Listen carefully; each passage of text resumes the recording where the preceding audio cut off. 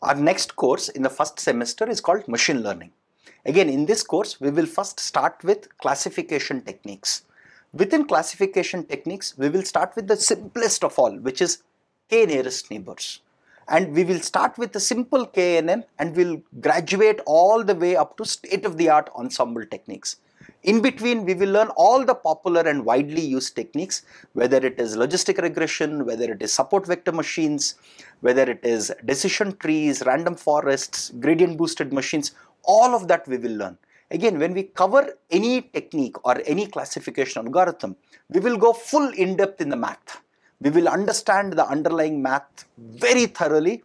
We will understand lot of special cases where each technique will work well and where techniques will fail and how to recover if a technique fails and how to understand a technique is failing in the first place right? Again we will also try to cover each of these techniques in the context of real world examples.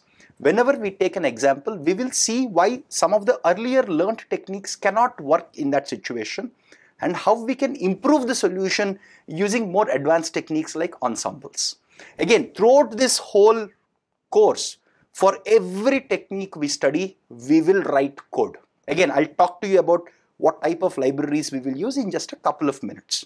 But we will, any technique, whether it's KNN or a gradient boosted machine or any other technique that we study, we will understand in-depth math, in-depth code and in-depth applicative details. All three are very, very important to be able to actually solve real world problems in machine learning using techniques we learn in this course.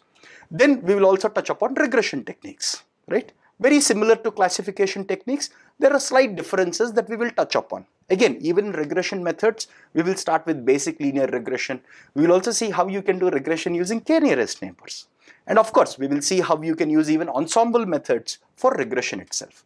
Again, just like in the case of classification, we'll go full depth into the mathematics because understanding the mathematical details, understanding where a technique will work by justifying the, with the underlying mathematics is very important. And understanding how to change the underlying mathematics for a given real world problem right? Again we will go full in depth both in terms of mathematics and code even for our regression methods. But as usual we will have some real world problems. We'll see why some older techniques some classical techniques might not work how more advanced techniques like, like ensembles could perform better there Again, we'll try to motivate all of this using lot of graphs and plots, using a lot of visualization. Cool. Next, we'll touch upon clustering methods. Again, we will touch upon the basic clustering methods like k-means, like uh, hierarchical clustering. Also, we'll study some clustering methods from the database community like dbscan, etc. Again, all of this will be in the context of real world problems. We will understand all the underlying mathematics, the computer science concepts, and most importantly, the code right? So in, the, in this course itself, we will cover multiple case studies. For each case study, where we'll apply whether it's a classification, whether we'll apply whether it's a classification algorithm or a regression algorithm or a, or a clustering technique, we will first start with a real world problem. We will use real world data sets. We'll analyze the problem. We'll do all the data analysis for these problems, understand what we want to solve. We will go full, full in depth in math and code and we will do thorough analysis and whole modeling exercise itself. We will try and solve multiple case studies in this course itself. Now coming to coding itself, we will use lot of popular libraries. We will start with scikit-learn for classical machine learning techniques. We will also use XGBoost and CatBoost for all boosting based methods.